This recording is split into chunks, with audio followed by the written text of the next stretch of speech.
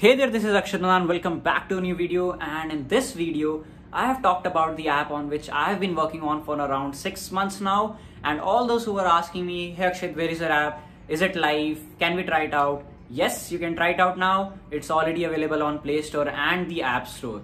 Right. So in this video, we will be talking about the features that are there in the app, which tech stack have we built. So if you are that kind of developer who wants to build your own app, publish your own app, build your own tech startup, this can be helpful because you can use my experience, get motivated and start building your app today, right? So let's go ahead, see the demo and get go.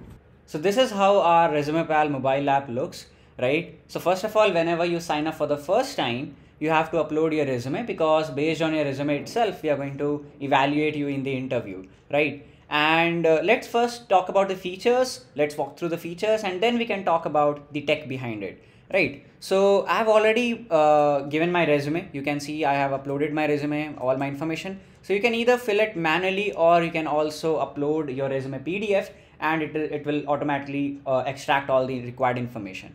Right. So once i have done that i'm all set to give my first ai powered mock interview. Right. So first of all i'll click on the start mock interview and you can see that we have all the required skills every day we are adding more and more skills we are supporting more and more skills.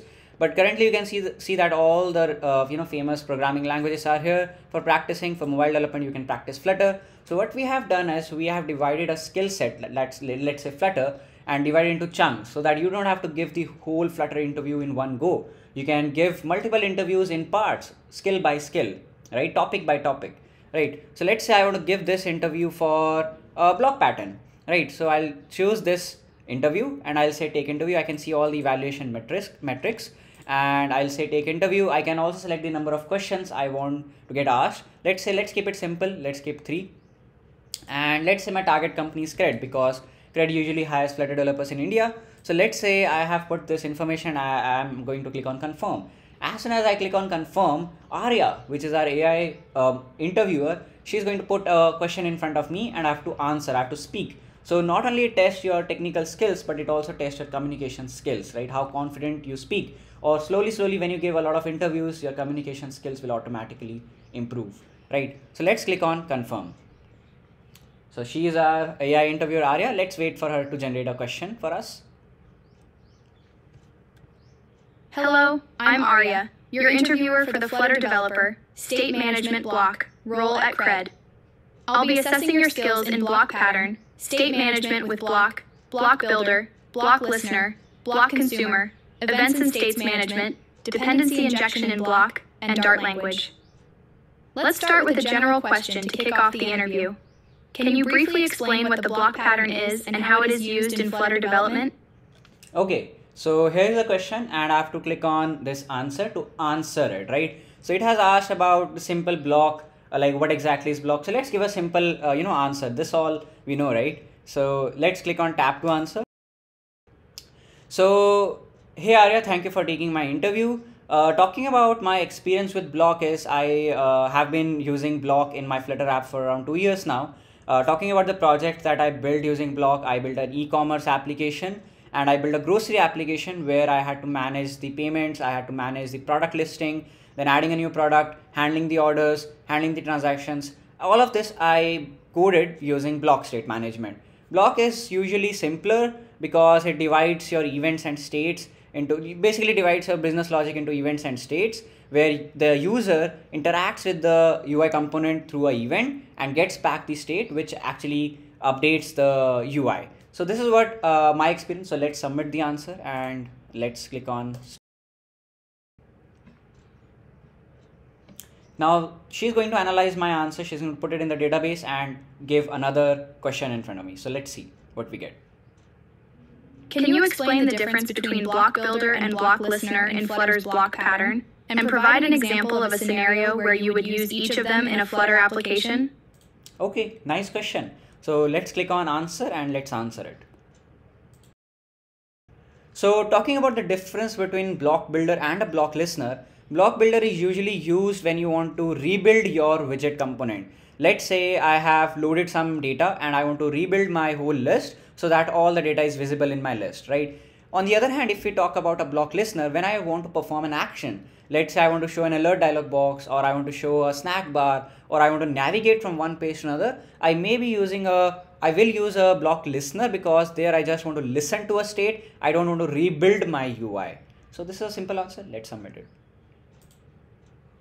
Let's Can you describe a scenario in which you would use dependency injection in block along with handling asynchronous events effectively using block in a Flutter application?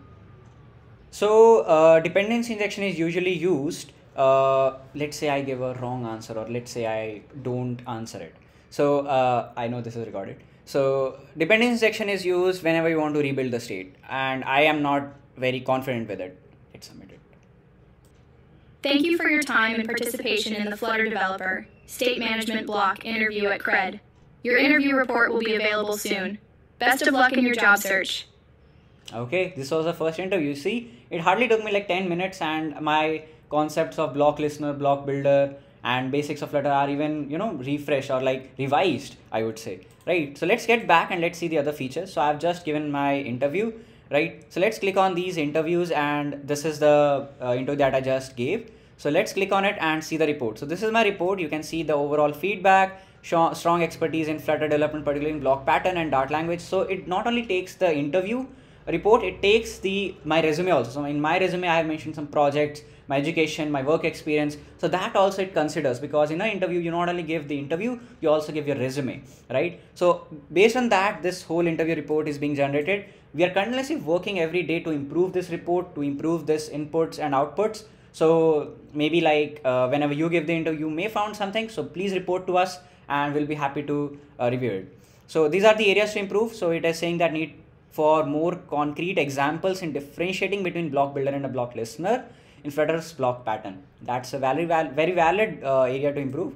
These are the questions. These are my answers which I just gave. So you can also, you know, revise your answer which you gave and you want to improve it. Later on, we'll also add the ideal answer that you are expected to give. That we will add it. These are my role-based ratings plus, uh, you know, including my resume plus my interview.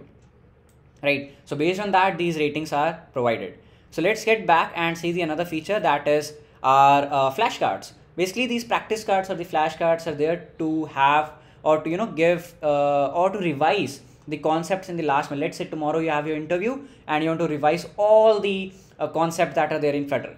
Just click on flutter and you can see that there are around 100 concepts that you are going to get that you are going to revise in this flashcards uh, around 16 i have already you know uh, revised and they are in review. That means once you see a concept you can say i don't know right i know right? And if you want to see the solution just flip it and you can see the solution plus you see the most uh, you know valid link on the internet uh, that we have curated and you can watch this video to just revise that concept. Let's say i don't know.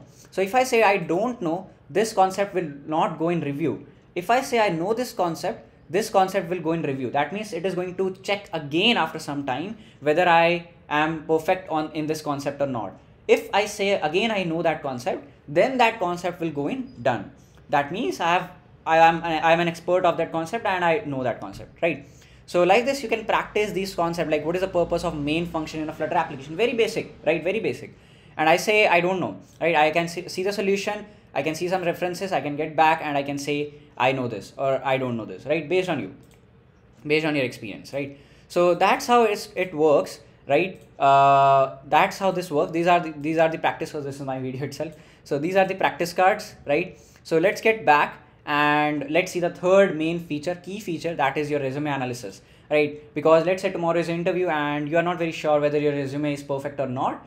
Just get here just reach here and let's say let's begin right? You can upload your resume and you are going to get a proper insights report on your resume and plus you can even chat on your resume. Let's say let's see an example.